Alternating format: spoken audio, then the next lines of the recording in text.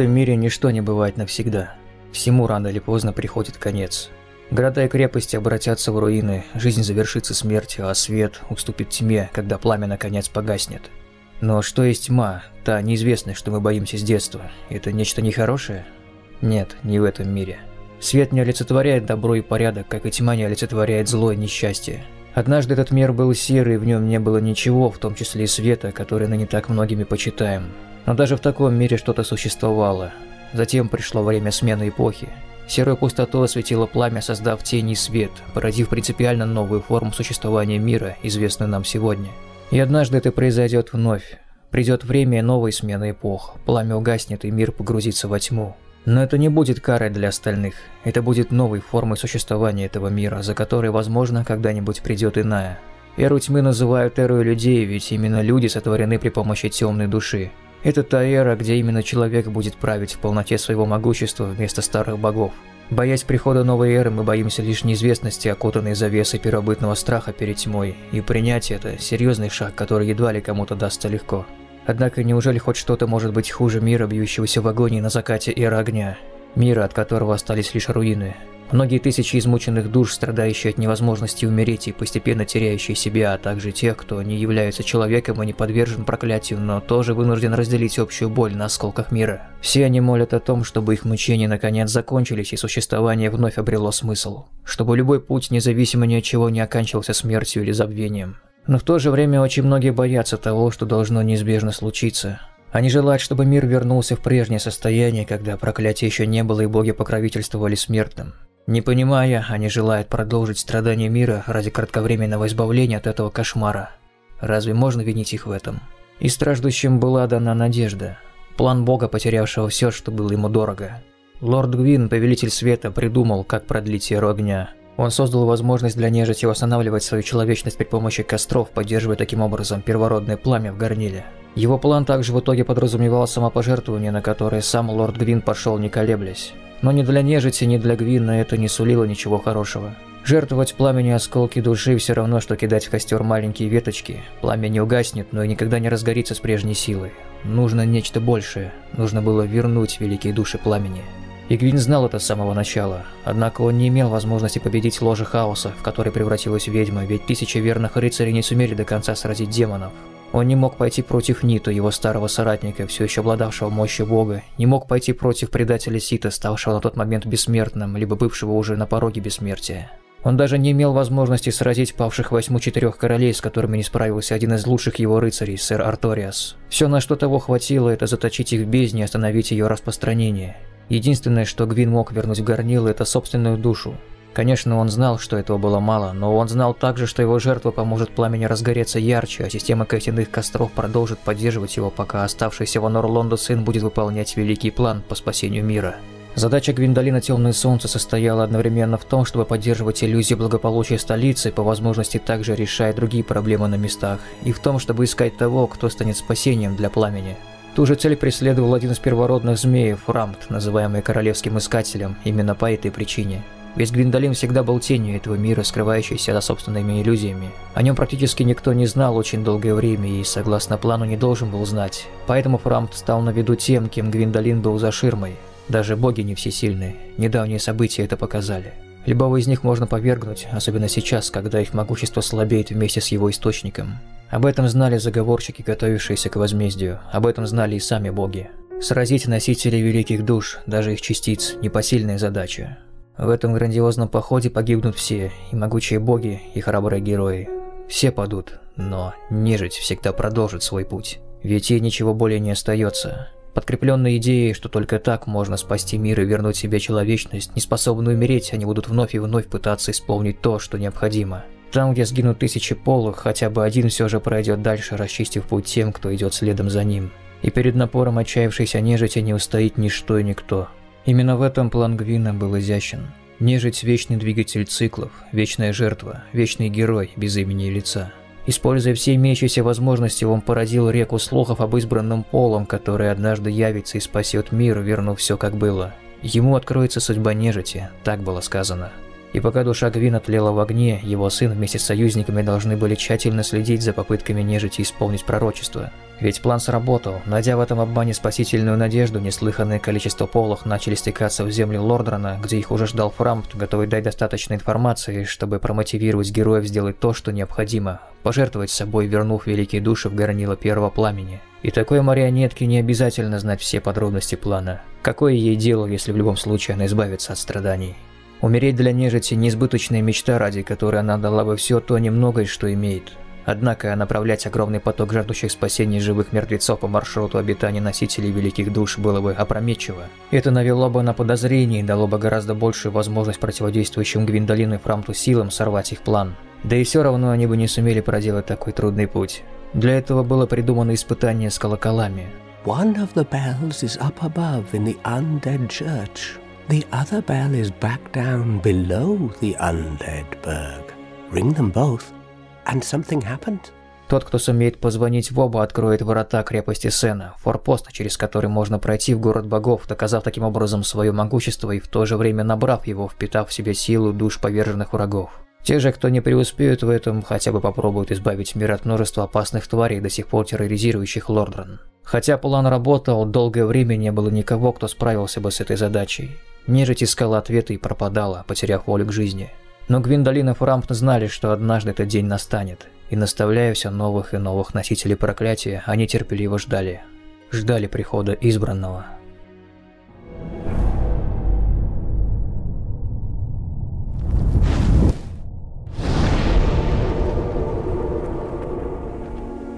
Северное прибежище нежити было лишь одним из множества мест, куда сгоняли нежить. По всему миру раскинулись тюрьмы и пыточные, где некоторые пытались изолировать проблему, а некоторые еще и утолить свои садистские наклонности.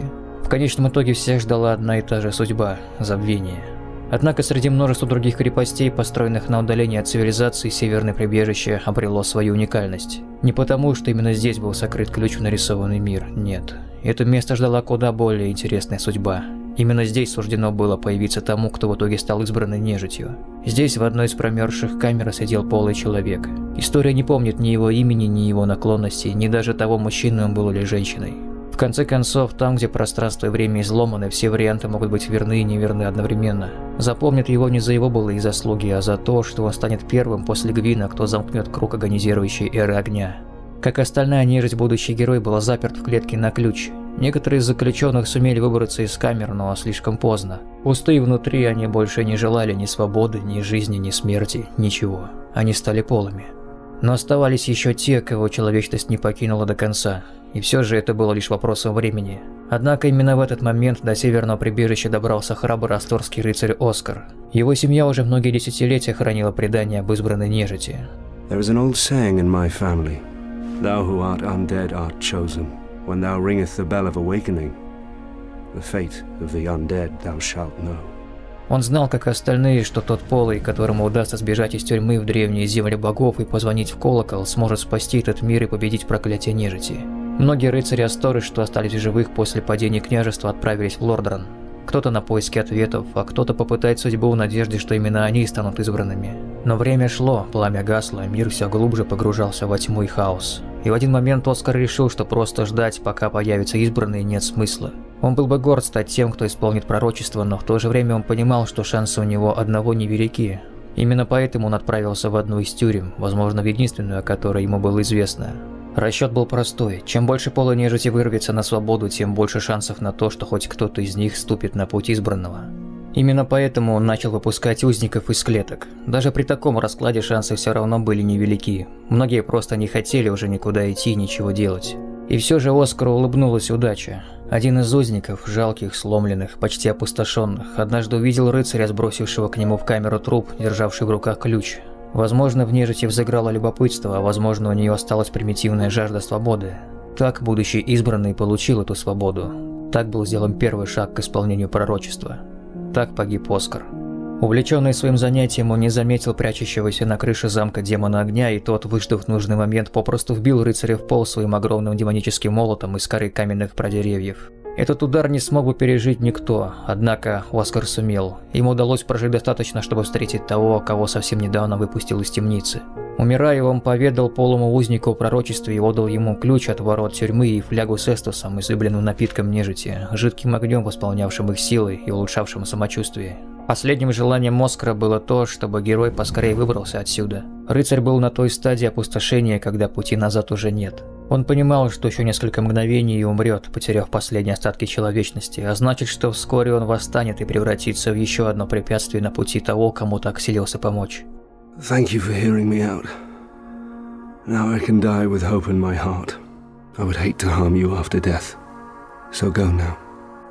you for. В этом мире нет истории со счастливым концом. Смерть и забвение следуют по пятам каждого из его жителей, как простых людей, так и великих героев. Оскар пал, сраженный порождением хаоса. Очередная смерть, не первая и не последняя. Но именно благодаря этому мир получил шанс на спасение. Ведь таково свойство нежити – идти вперед, несмотря ни на что, даже на смерть. Слабое, почти истлевшее существо, тем не менее, оказалось достаточно сильным для побега. Там, где ему не хватало сил, он брал упорством. Погибая вновь и вновь, он возрождался около костяного костра, начиная свой путь сначала. Сколь бы ни был силен демон прибежища, он не был бессмертен, а нежить была. Ей нечего было терять. Без устали, без страха, без сомнений, она вновь и вновь пыталась сразить порождение хаоса, и, наконец, это произошло. Демон пал, освободив путь. Дорога дальше была открыта, однако Оскар не учел одной детали. Бежать из темницы было некуда. На многие километры вокруг была непроходимая пустошь. Ослабевший Полу не смог бы преодолеть такой путь. Но и в этот раз помощь пришла неожиданно. Огромная черная ворона явилась избранной нежити и перенесла ее в земли повелителей. В Лордоран. Что это за существо неизвестно, однако же в Кариме знает, что символом Велки богини греха является ворон. И на тот момент Велка давно была пленницей в нарисованном мире, что определенно ограничивало ее действия, но вряд ли подобное ее полностью останавливало. Она была единственной богиней, которую другие боги боялись, и именно из страха они заточили ее в картину. Теперь она жаждала не только наказать богов за их грехи, но и отомстить за собственное заточение. Однако же она не могла действовать напрямую. Вряд ли именно Велка явилась избранной нежити в образе гигантской вороны, но у богини греха было немало последователей и также существ, отмеченных ее благодатью, а возможно и вовсе созданных ей. Видимо, ворона являлась как раз таким существом. Она обитала в Лордроне, в храме огня, в гнезде, спрятанном от любопытных глаз. Из этого гнезда она вполне могла следить за положением вещей. И, видимо, уловив незримый приказ богини, она отправилась в северное прибежище, дабы дать пророчеству свершиться. Ведь оно, помимо всего, подразумевало также и смерть богов, пленивших Велку. Поэтому появление избранной нежити в Лордроне было ей на руку. Без помощи этого существа Пола никогда бы не попал в земли повелителя и не исполнил бы пророчество. Появление вороны не было совпадением. Велка прекрасно осознавала, что делает. Нежить стала ее инструментом мести и правосудия. Именно по ее воле избранный Пол и на путь исполнения пророчества. Знала ли она о намерениях Гвиндолина? Скорее всего, знала. Возможно даже, что она знала намного больше него. Здесь план Вилки совпадал с планом Повелителя Луны, и их общими усилиями Храм Огня в Лордроне обрел еще одного постоянного обитателя, помимо тех, что уже проживали в этих местах. Одним из таких был удрученный рыцарь, потерявший волю к жизни, не помнящий даже своего имени. Он поведал прибывшей нежити о том, что пророчество об избранном передается из уст в уста не совсем точно. Оказывается, колоколов два, а не один, но самое главное, даже если получится в них позвонить, совершенно неизвестно, что же делать дальше. You'll have to climb the stairs up the ruins and access the undead berg through the waterway. The other bell is back down below the undead berg. Within the plague infested Blight Town. Ring them both, and something happened. Brilliant, right? Однако подобная недосказанность не могла послужить для нежити причиной оступиться. Иметь хоть какую-то цель и стремиться к ней – это то, что удерживает Полова от полного и безвозвратного опустошения. Самый первый колокол находился на вершине церковной башни в уезде нежити. По слухам, он охранялся горгульями, да и до самой церкви добраться совсем непросто. Демон-телец забрел в город и не покидает его уже долгое время, скрываясь от черных рыцарей. Он преградил путь к мосту, ведущему в уезд нежити, однако и сам мост охраняется красно-виверно оккупировавший единственный проход. Единственный официальный проход. Ход через канализацию не охраняется никем, кроме разносящих заразу крыс. Сам уже уезд кишит полыми солдатами, никогда охранявшими его, и рыцарями Балдера и Береника, пришедшими им на помощь, но также утратившими человечность. В одном из зданий, по слухам, остался один из медиумов, слуг Сита. Он здесь по своим делам, не связанным с полами, однако это не помешает ему попробовать остановить их. И, наконец, на вершине собора нежить встретит последних его стражей, двух каменных горгулей. Только победив их, появится возможность сделать первый решительный шаг на пути к становлению избранным. Добраться до первого колокола не просто даже для того, кого невозможно убить. Даже бессмертию есть предел. С каждой гибелью нежить теряет все больше человечности, и любая смерть может стать последней перед опустошением, каковой она стала для Оскара и Засторы. Но разве в ожидании неминуемого опустошения больше смысла, чем пусть даже в обреченных на неудачу попытках что-то изменить? Не лучше ли двигаться вперед, будучи готовым встретить смерть с гордо поднятой головой? Второй колокол находится в гораздо более труднодоступном месте. Чтобы добраться до него, придется пройти через трущобы города нежити, заполненных полыми бандитами, и сразить капра-демона, захватившего контроль над этим местом, а также над ключом от глубин. Затем придется спуститься в старую водосточную систему Лордрена, в затхлые грязные тоннели, доверху забитые различными опасными тварями, так и жаждущими поживиться неосторожными путниками. Глубины – это настоящий лабиринт, награда за прохождение которого шанс прожить еще некоторое время. Проход через массивные врата прегражден разнообразными мерзкими тварями, ключ же утерян в логове разверстого дракона. Подумать только, во что выродилось бессмертное величие этих созданий. Этому придется положить конец. Спускаясь в темный город, может создаться ощущение, что ты спускаешься в саму бездну, настолько глубоко он находится. И хотя, разумеется, это не бездна, однако местные жители порой небезопаснее иных порождений тьмы. Вурдалаки и варвары никогда и никому не рады в этих местах, они с радостью уничтожат любого, кто дерзнул явиться в их дом. Глядя на обилие обглоданных человеческих костей, нетрудно догадаться, какая судьба тебе уготована.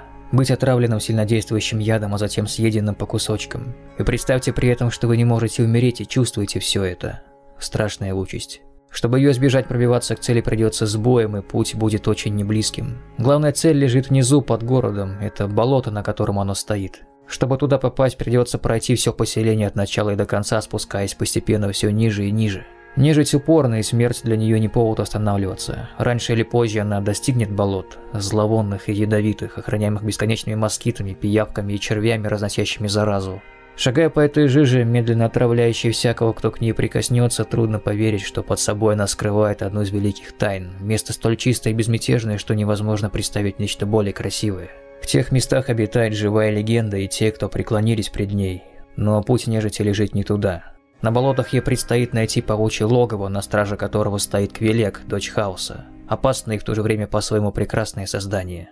Она защищает ту, кто ей дорог, от тех, кто способен ей навредить. Квелек не питает ненависти к путникам, она лишь вынуждена нападать. Однако, как у нее есть цель, к которой она стремится, так цель есть и у нежити. И на пути к этой цели встало очередное создание, неповинное перед миром ни в чем. А впрочем, настолько ли неповинное? Ведь Квелек принимала участие в создании хаоса. Как бы то ни было, она должна умереть. Умереть, чтобы избранная нежить могла пройти дальше, ко второму колоколу пробуждения. Полдела сделано, избранный явился миру. Наконец пришел тот, кто в состоянии вернуть пламени его силу. Именно в этот момент изначальный Змей Фрамт вступает в игру открыто. Ah, hello. Was it you who rang the bell of awakening? I am the primordial serpent, King Sika Frampt, close friend of the great Lord Gwyn.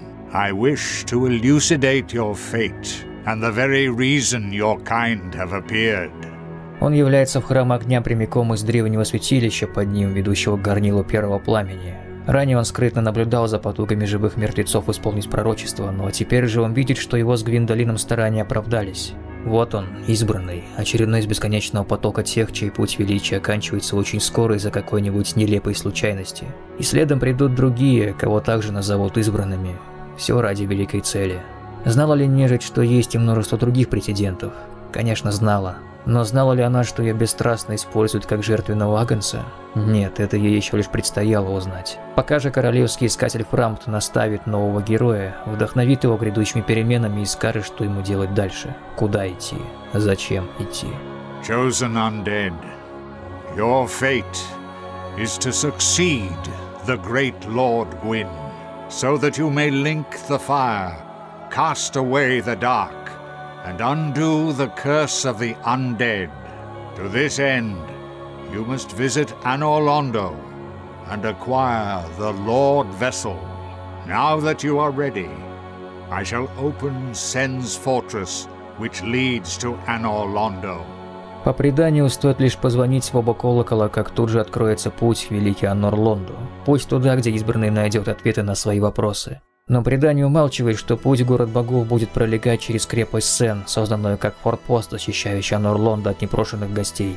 С одного из старых наречий Сен означает «тысяча». Это крепость тысячи ловушек, не только сконструированных. Змеи-люди и гиганты, стоящие на страже крепости, также станут испытанием для путников, как стали испытанием для рыцарей Балдера и Береника, шедших в город богов за ответами. Мало кто из них смог достичь своей цели. Многие остались здесь, на верхнем ярусе крепости, опустошенные и потерянные. Их цели пребывания здесь давно уже утратили значение. Сейчас они такие же стражи этого места, как и другие обитавшие здесь существа, сильнейшие из которых – Железный Голем, творение богов. Этот легендарный конструкт погубил тысячи жизней, защищая проход за его спиной. Для любого идущего путем пророчества победа над Големом была необходимым условием, последним доказательством того, что они достойны зваться избранными. Во всяком случае, они так думали.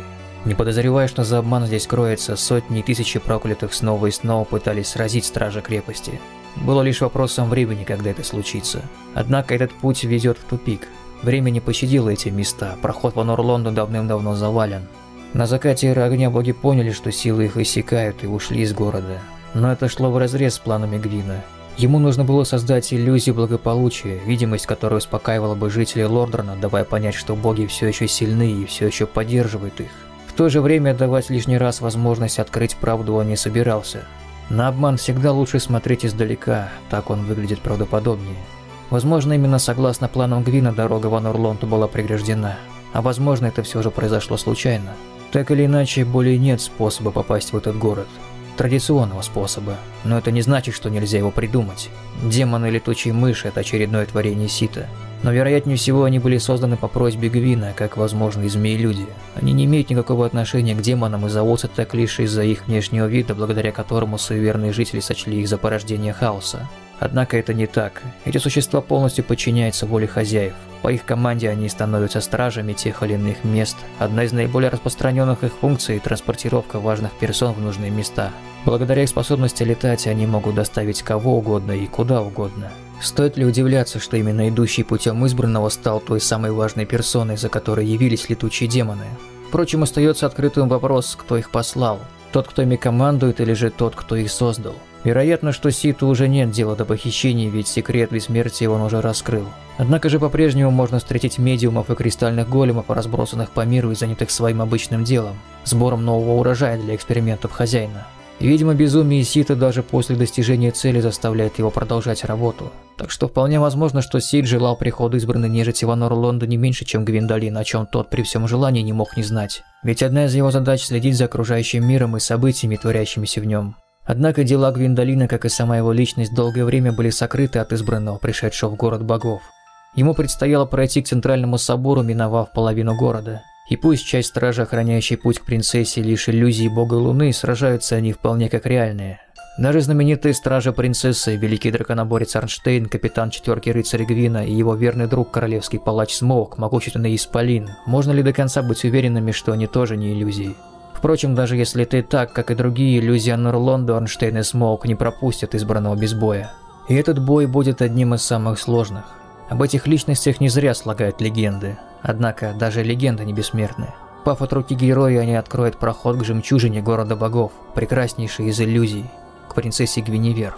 Thou hast journeyed far and overcome much, chosen undead. I am Guinevere, daughter of Lord Gwyn and Queen of Sunlight. Since the day Father his form did obscureth, I have awaited thee once living, now undead, and a fitting heir to Father Gwyn thou art, O chosen undead. Финальное испытание на пригодность пройдено. Нежить доказала, что способна сразить богов. В награду она получает великую чашу, ту, что соберет в себе души поверженных. Чаша также кроет в себе силу, способную взывать к кострам, разрывая пространство и время. Словно сгоревшие кости, будто бы помнящие дорогу к месту своего упокоения, чаша приведет героя в нужное место по его велению. Очередной полезный инструмент, дарованный нежити Гвиндолином, чтобы тому было проще принять свою участь. Гвиневер подскажет дорогу, даст цели, благословит напутствием. Without fire, all shall be a frigid and frightful dark. Yet I have only thee to ask. Please, Father's role thou should assume, and inheriteth the fire of our world. Thou shalt endeth this eternal twilight, and avert further undead sacrifices. I beg of thee, succeed Lord Gwyn, and inheriteth the world's fire. Бедной нежити ни к чему знать, что внутри этой принцессы лишь пустота, вобравшая в себя всю полноту божественной лжи, что настоящая Гюнивер давно покинула город богов с мужем, что единственное напутствие, которое она могла бы дать – уходи отсюда, этот мир обречен. Ни к чему этого знать избранному. Великий план в действии. Heavens, you have done it! You have retrieved the Lord Vessel after a thousand years. It is you. It is really you. Теперь для избранного задача ясна как никогда.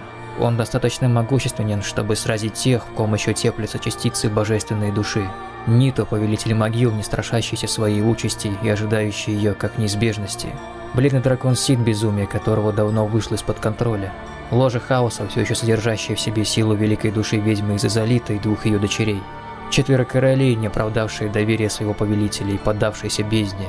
И, наконец, сам лорд Гвин, повелитель пепла, до сих пор хранящий первородное пламя своей истлевшей душой, которую также необходимо предать огню. Хорошо сказано, да? Сразить богов. Звучит как не самая легкая задача.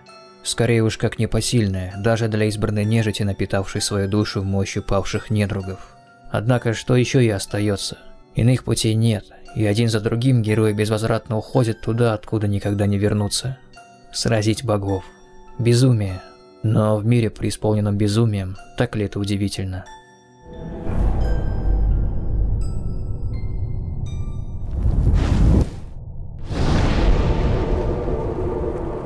Еще до Гвина богами был совершен грех. Ведомые благими намерениями они желали спасти мир так, как они это видели. И хотя он не настолько тяжек для мира, как создание цикла вожжения, все же он тоже имел очень тяжкие и долгоиграющие последствия. Хаос воплотился в этом мире, открыв червоточину и впустив демонов. Так был создан принципиально новый пласт бытия, новая цивилизация, которой также предстояло стать частью циклов огня и тьмы, стать очередными его рабами на бесчисленные тысячи лет. Множество городов и крепостей пало под напором демонических созданий, и первым стал великий город Изолит. Нашествие началось оттуда. За ошибку ведьмы из Изолита заплатил практически каждый житель города.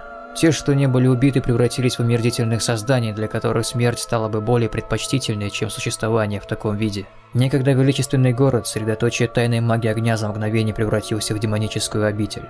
Именно в таком виде он и предстанет перед избранной нежитью. Путь в город все еще преграждает неутомимый воин. Он пассивен и сам не нападет на путешественников. Однако, если кто-то посягнет на алтарь, охраняемый им, воин без раздумий уничтожит вторженца. На алтаре лежит тело одной из его родных сестер. Тело той, кого он не смог защитить. Возможно, в наказание за свою оплошность он привязал сам себя к этому месту. Страдающая душа в изуродованном теле, практически лишенном разума. Однако это тело также является источником лавовой реки, затопившей город и закрывшей проход к ложу хаоса. У избранной нежити просто нет выбора, ей придется убить неутомимого воина, прекратив его страдания. Через полчища капра демонов и демонов-тельцов, через опаснейшего демона-сороконожку, через омерзительных едоков хаоса, ее путь пролегает в само сердце Изолита. Там, в недоступной для других комнате, обитает само воплощение первородного хаоса. Выглядит оно не очень опасным, однако это весьма обманчивое впечатление. Ложец знает, как себя защитить. В отличие от застывших плетений, которые многие могут принять за корни деревьев, эти плетения вполне живы и не утратили хаотического пламени, так как находятся непосредственно рядом с его источником. Истинная сущность хаоса разрушения ложа не побрезгует обратить в руины это место, лишь бы защитить себя. Однако за подобной разрушительной мощью скрываются лишь жалкие личинки хаоса, никогда бывшие дочерьми ведьмы. Третий и последний из них находится в самом сердце ложа. Слабое, практически беззащитное существо, некогда бывшее богом, повелителем жизни. Что же, в конце концов, она все-таки создала жизнь, пусть и не такую, какую запланировала. Какая ирония. И теперь рукой избранной нежити, по велению пророчества, ее жизнь оборвется. Страдания ведьмы из Изолита будут прекращены, но страдания мира продолжатся. Несмотря на гибель Источника, демоны не утратят свою силу еще долгие века. Хаос уже воплощен, и полностью истребить его не выйдет. Слишком поздно. Огонь – это сама жизнь, поэтому ведьма из Азолита, владевшая душой огня, по праву могла считаться повелительницей жизни. В противовес ей Ниту нашел душу смерти, став повелителем могил. Будучи первым умершим в мире, он раньше остальных познал суть смерти и понял, что нет смысла ее бояться, что этим заканчивается любая жизнь, любой путь. Возможно, именно поэтому он не предпринял попыток спасти пламя от угасания, потому как понимал, что подобные желания так же противоестественно, как и желание Нагого Сита обмануть смерть. Да, вот уж кого Ниту точно недолюбливал, так это Сита. И именно по этой причине. Впрочем, едва ли он также был в восторге от плана Гвина. Смерть – это естественная часть любой жизни, и даже умерев, каждое существо останется частью мира. Так он устроен, и не отчаявшимся старикам это менять. Цикл вожжения является лишь временным решением в перспективе уродующим мир еще больше прежнего. Он должен умереть, пламя должно умереть, но оно не может. Оно вынуждено будет разгораться вновь и вновь, и каждый живущий в этом мире разделит с ним его страдания раньше или позже. Вероятно, именно поэтому Нита не предпринял никаких попыток помочь другим богам в их стремлении к вожжению пламени. Как бы то ни было, понимать, что другим уготована смерть и принять это не то же самое, что смириться с собственной гибелью. Смерть уже давно настигла Ниту, но то, что по задумке его соратника должна была сотворить с ним избранная нежить, это не просто смерть, это нечто большее. Лишившись божественной души, он лишится и самосознания в посмертии. Полное забвение. Однако едва ли он не понимал, что это лишь вопрос времени. Пламя угаснет и не станет богов. Не думаю, что Нита боялся конца всего, конца собственного существования. Однако его бесстрашие не было поводом сдаваться без боя. Нежить хочет великую душу, нежить ее получит, если осилит путь через систему склепов, ставших посмертным домом для повелителя мертвых. На страже его покоя стоит один из самых могучих его подручных, некромант Вихрь, некогда дерзнувший украсть силу Нита, ныне наслаждающийся своим могуществом. Какая насмешка, наслаждающимся. Скорее уж страдающим от него. Могущество оказалось для него непосильной ношей, ведь за него была уплачена слишком высокая цена. И сделать с этим он ничего не может. Вечный страж склепа гигантов. И избранному придется миновать этого стража, как и множество другой нежити, лишенной покоя в этих стенах. Даже боги могут пасть. Пример ведьмы показал это. Но в смерти нет ничего страшного. В этом мире умереть все равно, что быть награжденным. Далеко не каждый мог получить такую возможность, постоянно восставая из мертвых и теряя себя часть за частью. Нито не боялся смерти, и он принял ее от рук избранного полова, приблизив того еще на шаг к заветной цели. Цели, которую Нито ненавидел. Когда пламя явилось в мир, трое будущих богов нашли в них великие души – огня, смерти и света – Гвин, великий повелитель солнечного света, стал сильнейшим и потому верховным богом, тем, кому поклонялись и кем восхищались. Но это не могло продолжаться вечно. Потеря за потерей, ошибка за ошибкой, путь привел его в итоге в горнило первого пламени, принявший его ослабевшую великую душу. Там она и поныне тлеет, удерживая мир от падения во тьму. Для исполнения пророчества необходимо, чтобы все три души вернулись в пламя, распалив его как раньше. Однако тлеющая душа Повелителя Пепла ныне лишь часть той божественной души света, что была найдена на заре эпохи. После победы над драконами Гвин даровал часть своей души, а вместе с ней часть своего могущества Нагому Ситу, дракону-предателю, без которого они не смогли бы сразить его сородичей. Также еще одна частица Великой Души была дарована четырем королям, могущественным и мудрым правителям в знак признания величия людей. Таким образом, Душа Света была разделена на три части, и цель избранной нежити – собрать ее воедино, чтобы придать ей былое могущество. Нагой Сид был охоч до любых знаний, какие только мог найти на просторах Лордерна и за его пределами. Трудно поверить, что не был в курсе планов Гвина и его последователей. Он знал, что прячущийся бог и его змеи-приспешник посылают одного полого за другим к его логову, чтобы заполучить великую душу. Его великую душу. Отделившись от целого, она перестала быть душой света, слившись с носителем и приняв в себя его сущность. Иметь душу не свойственно для пресносущего дракона. Ни живые, ни мертвые эти существа всегда стояли над миром. И где они теперь? Прячутся по закоулкам мира, словно дичь от охотников, словно крысы по норам. А он, великий Сид, жив и полон могущества. Душа ему не была нужна, особенно сейчас, когда тот раскрыл тайну первородного кристалла и сумел его воссоздать. Этот артефакт дал дракону столь долгожданное бессмертие. Любой, даже такой ущербный дракон, как Сид, был достаточно могущественным существом, но частица великой души придала ему невиданную мощь, которой опасались все, даже боги Лордрана. Могучее, бессмертное и безумное существо, которому чужд этот мир. Пусть он обратится в руины, сотрется в пыль, но он, великий Сид, уцелеет, переживет и это, как пережил своих бессмертных собратьев. Возможно, именно так он и думал. Трудно сказать. Безумный ум с трудом поддается анализу. Но то средоточие неподконтрольной миру силы, что он у себя представлял, было необычайно опасным. И с этим нужно было покончить раз и навсегда. Архивы герцога на долгие столетия стали домом для бледного дракона, хранилищем бесчисленных знаний и тюрьмой для тех несчастных, что Сид избрал в качестве подопытных. Сколь много в архивах книг, почти столь же много и клеток, заполненных обезумевшими от страданий существами. Все они также станут преградой на пути к цели, как и те, кто их охраняет. Медиумы, могучие колдуны, слуги дракона. Опасные противники, но не вечные, как и остальные. Не вечные, как и их повелитель. Внутри архива костер был намертво отрезан от остального мира, чтобы нежить сама загнала себя в ловушку и не имела возможности выбраться из заточения. Но далеко не каждый становился жертвой стражи Сита. Как бы она ни была сильна, с ней можно справиться. Как можно убить бессмертное существо? Бессмертное и столь могучее, что даже сам Повелитель Света не дерзнул бросить ему вызов. Раз за разом полая нежить шла на бой с этим существом, погибает его лапы кристального дыхания, терпя поражение, но всегда возвращаясь, чтобы закончить дело. Даже бессмертные пресносущие драконы в итоге пали. Пал и тот, кто был ими рожден, тот, кто предал их. Источник бессмертия, спрятанный на дне кристального грота, был уничтожен. Так закончилась эта история. Так прервалось правление Нагого Сита, бледного дракона. Так еще одна великая душа вернулась к источнику.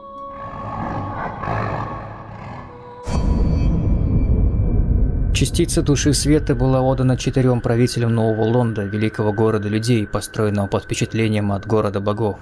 Четверо королей приняли от Гвина высшую награду, разделив с ним божественное могущество. В народе они слыли умелыми и мудрыми правителями, недостаточно мудрыми. Жадность сыграла с ними злую шутку. Изначальный змей Каас, темный охотник, всегда ненавидел ту ложь, которой Гвин окутал этот мир, в пришествии Эры Тьмы он видел не только естественный ход вещей, но и единственный возможный вариант развития событий. Ему претило то, что Повелитель Света сотворил с миром, что он сотворил с человечеством, превратив его в заложников цикла вожжения.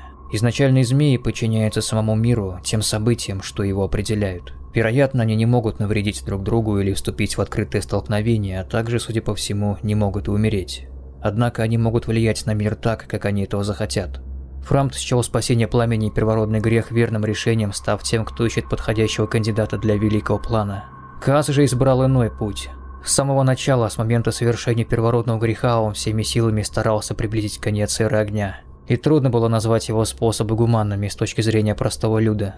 Он создал ковенант темных духов, людей, что служили ему, получая возможность вторгаться в чужие миры в виде враждебных фантомов и убивать их хозяев, похищая человечность и питая ей себя самих. Благодаря этому осколки темной души в итоге возвращались в бездну, усиливая ее. Также именно Каас повинен в возникновении бездны как таковой, как ведьма была повинна в возникновении хаоса. Именно он подтолкнул правителя Олачиля, одного из первых людских городов, разорить могилу первого человека, Мануса. Он обещал им могущество, но они встретили лишь ожившую тьму, поглотившую город. Тем же путем проследовали четверо королей, Каас нашел их уязвимую точку. Он пообещал им могущество больше, чем они уже имели старым проверенным способом – поглощением человечности. Насильственное ее похищение всегда сопряжено с некого рода риском. Человечность – это осколки темной души, в каждом человеке есть такой осколок. Вероятно, впитать в себя слишком много темных душ опасно. Каас же обещал, что способ, которому он научил их, безопасен.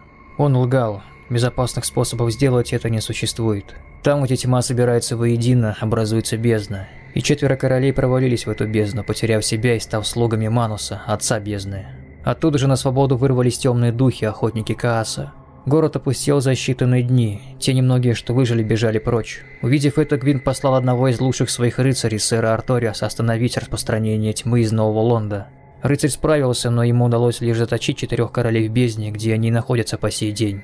Целях безопасности город был заперт и затоплен. Там, на глубине, во тьме, населенной призраками, по-прежнему теплится осколок души света, словно гротескная пародия на надежду для этого места. По иронии, именно ее воплощением и стал тут осколок. Ведь именно за ней пришел тот, кому пророчеством было суждено победить четырех королей, упокоив их навеки. Ключ от ворот находился у последнего живого хранителя, который по-прежнему стоял на страже собора, давно ставшего средоточием тьмы. Город надежно закрыт от посетителей, однако есть и другой путь – система старых лифтов, ведущих глубоко под храм огня.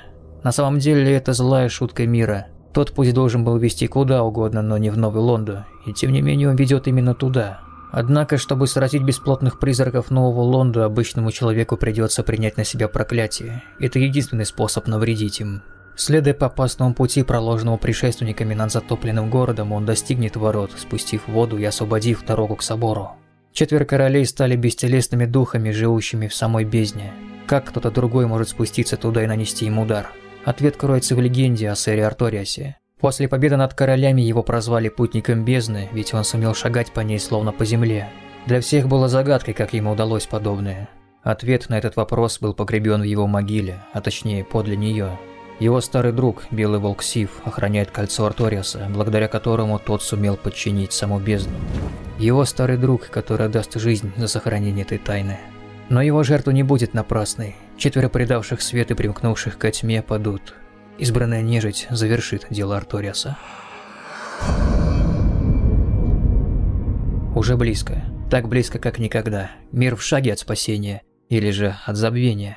Великая чаша стоит на алтаре перед входом в горнило первого пламени, наполненное божественными душами. Не хватает лишь одной, той, что однажды была могущественнее остальных, а ныне же тлеет в сердце горнила. И вот свершилось. Двери, не открывавшиеся тысячи лет, наконец распахнуты.